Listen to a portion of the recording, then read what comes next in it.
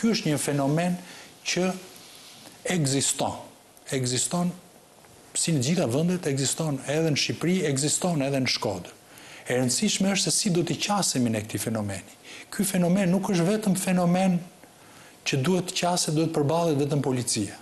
Policia është, sigurisht ka pjesën kryesore për ta përballuar, për ta parandaluar, për ta goditur, për ta arrestuar apo proceduar. Por ajo që ne duhet të bëjmë, ku dhe policia duhet të jetë pjesë, është që të përfshihen aktorë të tjerë, shoqëria civile, drejtoria arsimore me takime të veçanta, që ne t'i sensibilizojmë këta nxënës, këta studentë. Nuk mund të vazhdojmë vetëm me masa represive policore.